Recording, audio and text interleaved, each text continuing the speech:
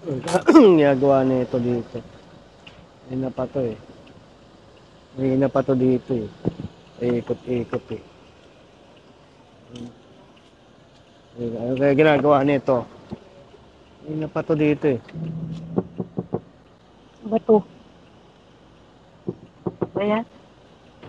Yes po. Saan ka punta te? Eh, magpa-park po ako. Papark, wala kang mapapansingan. Hindi mo to. Oo. oo.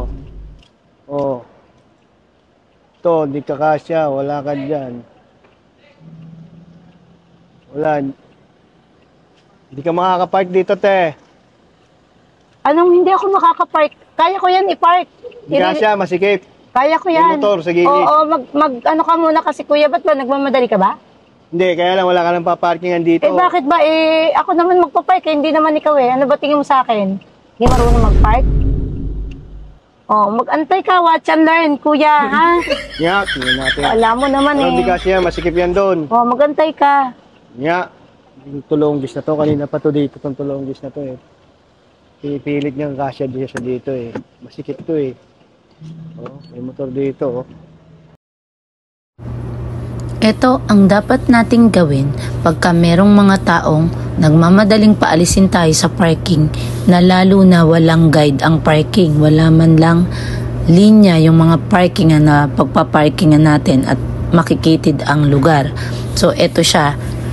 Una, kinabig ko siya paatras and then pakaliwa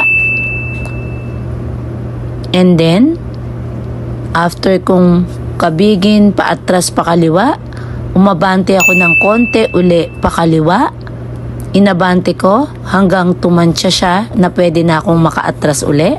And then pangatlo, inatras ko na siya napakaliwa uli hanggang dire-diretsong atras at konting kabig pa para maidiretso ko yung gulong, diretso atras. So yan, naidiretso ko na yung sasakyan at nakuha kong maipark siya ng maayos. So ganyan ang aking ginagawa pag nagpa-parking ng ganito. Kala mo, hindi ko kayang mag-park, ha? Hmm. Sino ba tong tao na to? Kala mo kung sino kung magsalita.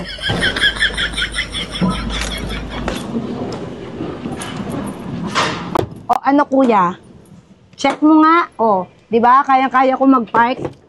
Eh bakit ba kasi ano, hindi ka makapag-antay? Magpa-park ka ba? Ikaw yata hindi marunong mag-park eh.